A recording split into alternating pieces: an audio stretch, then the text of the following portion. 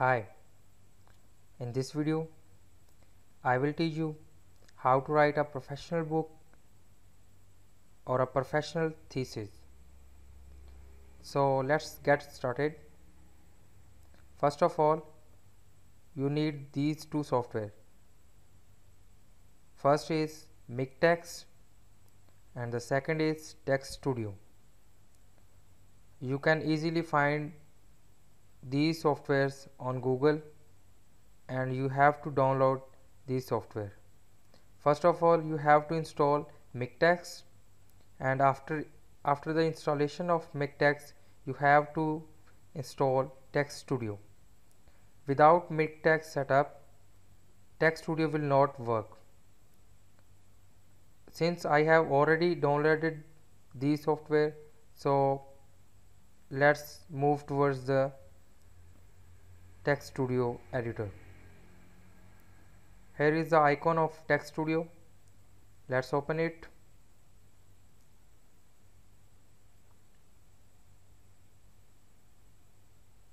Okay. Let's close it. Now I will briefly describe all the parts that are shown here.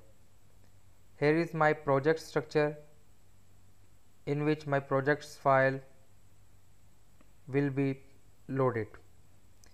This is my text editor area.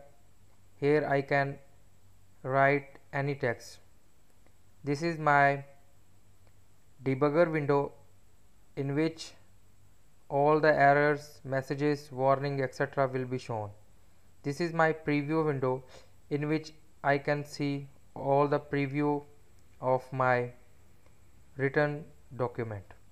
So first of all go to file click on new for new from template. Here are some built-in templates. You can use them. Uh, in order to write a book you have to select book. And here is my destination so uh, destination folder where my document will be saved. So I will create a new fold new folder named as my book. Okay. So by default it will automatically create a create a, a first page of my book. So in order to see the preview of my document I will go on build and view option. Here is my simple book example. So first of all let's change the title. Here is the title command. The command is backslash title and you can write title within these curly braces. So my book name is latex training latex professional training. Okay. And the its publication date is January no sorry July 18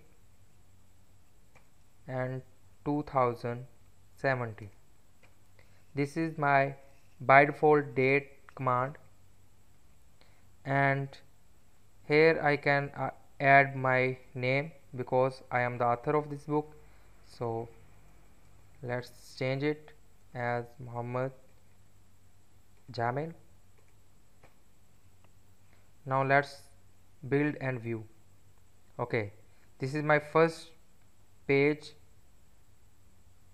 here you can see the title of the book the name of the author of the book and the publication date.